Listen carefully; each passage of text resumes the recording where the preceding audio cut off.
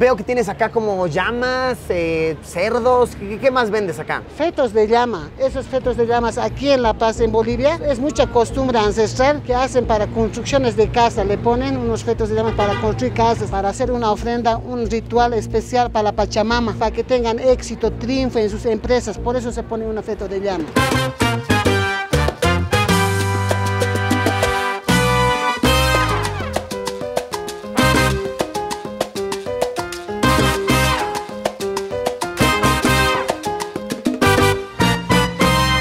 Nos encontramos en La Paz, Bolivia. ¡Wow! ¡Qué mágica ciudad llena de colores, llena de ruido, llena de cosas que hacer! Comida deliciosa por doquier. Siempre es muy bonito estar acá. Ya tiene unos cuatro años desde mi última visita. Y wow, de verdad que el calor con el cual la gente te recibe, el trato en general, es muy bonito, es muy particular, es muy chala, chalita.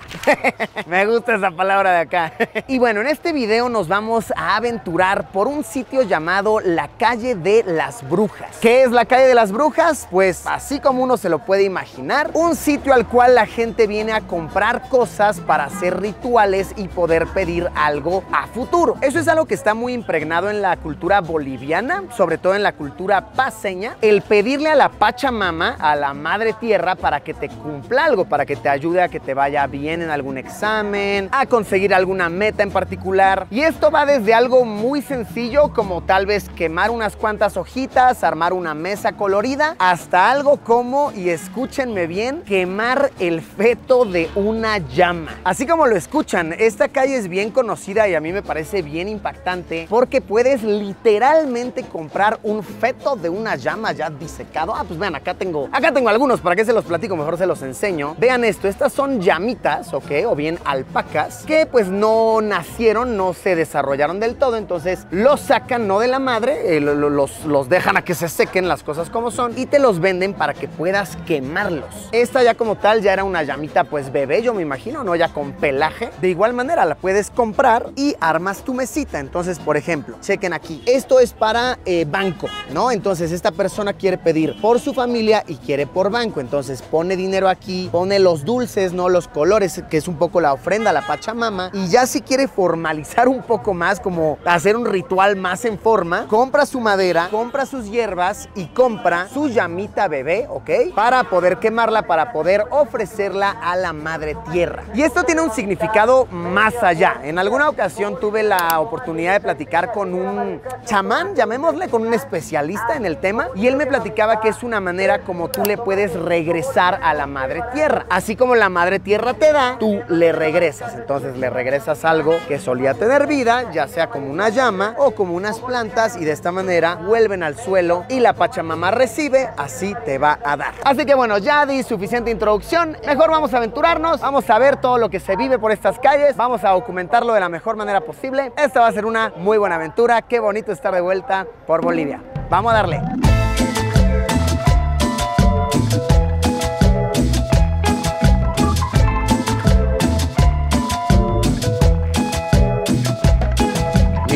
Estas personas me dejaron pasar a su tienda para poder ver cómo se está preparando una misa para la Pachamama. Chequen ahí, se está colocando los billetes. Una ofrenda, exactamente. Aquí nuestra madrecita nos está mostrando. Con esta ofrenda, ¿qué es lo que se va a pedir, jefa? ¿Qué, qué- cuénteme. Esto sirve para todo, trabajo, negocio, salud, viaje, armonía, éxito, prosperidad, para agradecer a la Pachamama. Claro. Entonces se envuelve y ya así se lleva para el, para el sitio. ¿Tú, tú la estás comprando?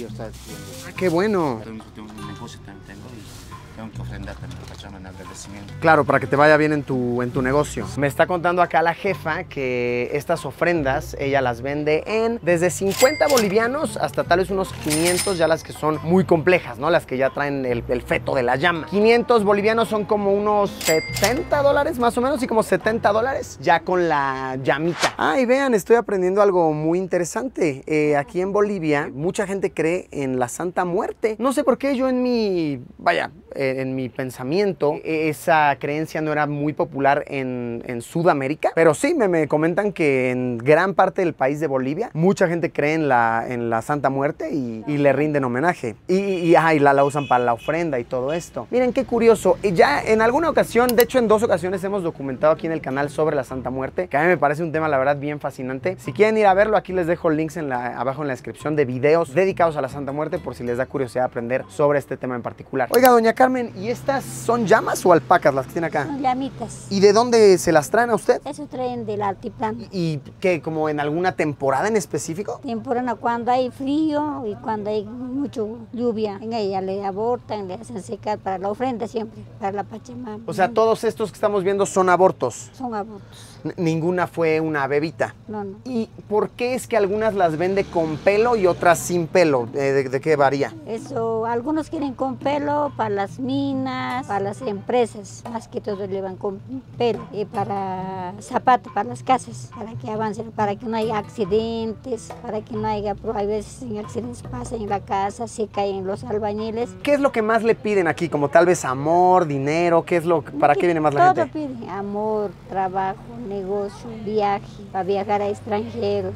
Ah, miren qué interesante. Acá en otra tienda, esta es de la madrecita Susana, estoy viendo que también eh, tienen cerdos, ¿ok? Entonces, tienen llamas, ¿ok? También tienen cerditos. Estos cerditos, eh, por lo que me comentan, de igual manera son cerdos bebés, no son cerdos fetos, no, es- no son abortos. Y tienen un significado bien particular, y es que el cerdo, a ver, es un animal que va cavando con su nariz, ¿no? Como la tierra. Entonces, de esta manera, cuando quieres pedir como para seguir adelante, ofreces un cerdito bebé a la Pachamama. Oye, Susana, ¿y qué es más eh, común eh, que, te compren, las llamas o los cerdos? Es más variable las, las llamas porque igual eh, dan ofrenda a la Pachamama, los cerditos para que igual para año nuevo, para que les vayan para que sigan adelante, como escarpa adelante, ¿no ve? Van a va- para que no, no se queden ahí nomás, es para que sigan adelante, para que surjan para, para todo el año. Mire, muy interesante. ¿A cuánto vende una llama así para un ritual? 350.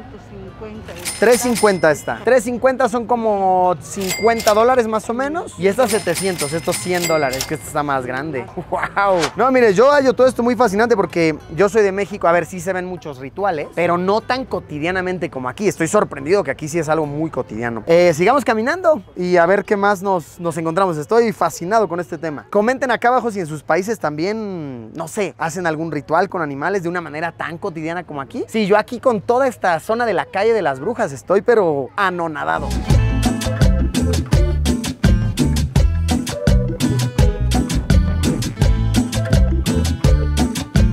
Ando conociendo a pura gente bien buena onda aquí. Ella es Margarita. ¿Cómo estás, Margarita? Bien. Bien aquí en Bolivia. Qué placer, me está invitando acá a grabar su tienda. Pero antes de eso, quiero enseñarles, mi querida Margarita, si me permites, quiero enseñarles eh, el estilo de una cholita. Ok, esta es una cholita paseña, ¿no? De la, de la zona de, de La Paz. ¿Pueden enseñarme sus dientes? Miren eso, ¿están viendo los dientes? Como de estrellitas, wow. Eso es algo muy característico, me encanta. Y usted está mascando coca ahorita, ¿verdad? Estoy mascando la coca para el cansancio. Para el cansancio, para la altura, para todo esto. Eso es algo bien bonito. Cuando uno viaja por la región andina, se encuentra con que eh, las personas mascan mucha coca y de verdad que lo hacen muy cotidianamente, sobre todo por la altura. Pues sí, La Paz es una ciudad que está, si no me equivoco, 3.600 metros, ¿no? Metros de altura. Sí, sí, sí, estamos a 3.600 sobre el nivel del mar, entonces es muy alto. Entonces yo de repente cuando estoy por la región andina me masco mi buena coca. Oye, platícanos, este, veo que tienes acá como llamas, eh, cerdos, ¿qué, qué más vendes acá? Fetos de llama, esos fetos de llamas aquí en La Paz, en Bolivia, es mucha costumbre ancestral que hacen para construcciones de casa. Le ponen unos fetos de llama para construir casas, edificios, puentes, empresas. Oye, qué interesante. ¿Y cuál es el, el procedimiento? ¿Compran esto, les armas todo un, toda una ofrenda y luego la queman? Claro, así como le ponemos un fetito, esa es la ofrenda. Mira la ofrenda, ¿ves? Con una casa, con un banco, aquellas personas que pueden tener cliente, negocio, un auto, una salud.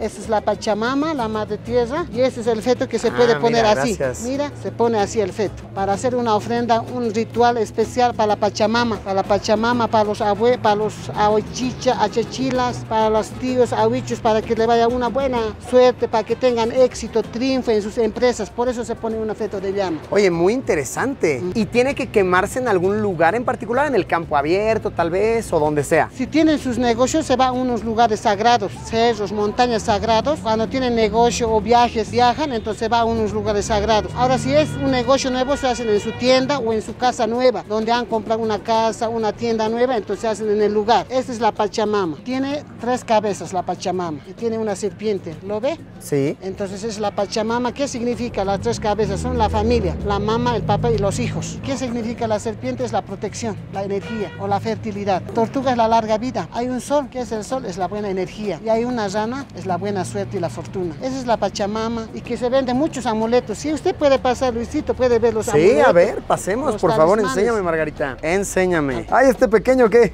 Sí, mi, mi cachorro. ¿Cómo se llama? Guñi. El Guñi.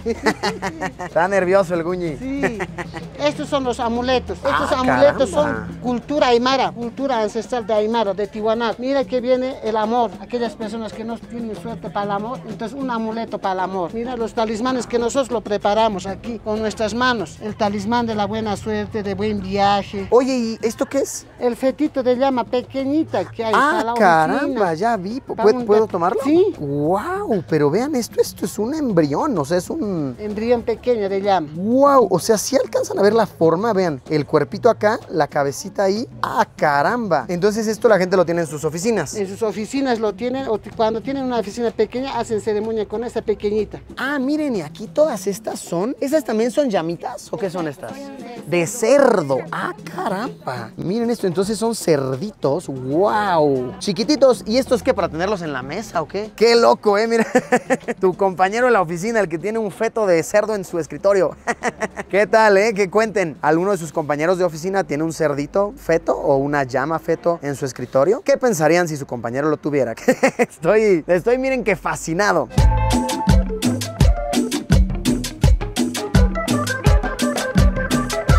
Oigan, y miren, ahorita sí ya llegamos como tal a la calle de las brujas. De hecho, está bien interesante. Se ven adornitos de brujitas por todos lados, ¿no? Que están como montadas en sus escobas, pero muy coloridas, ¿no? Muy al estilo boliviano. Hay otras que están montadas como en. Bueno, que, que está como arriba un sombrerito. Sí, la verdad es algo muy, muy bonito. Pues, amigos, amigas, vaya que he quedado anonadado con este aspecto cultural de Bolivia. Que si bien ya lo conocía, no lo había visto tan de cerca. Y sí, sí, impactado se queda Me encanta siempre conocer nuevos aspectos culturales de ciertos países y este creo que se queda en mi top 10 de alrededor del planeta. ¿Qué les ha parecido a ustedes, amigos, amigas? Cuéntenme en sus países, hacen algo similar en sus ciudades, alguna corrección de algo que tal vez dije no del todo bien, por favor, aquí abajo en los comentarios. Muchísimas gracias por haberme acompañado y nos vemos como siempre, ya lo saben, en unos días con un video nuevo. Adiós.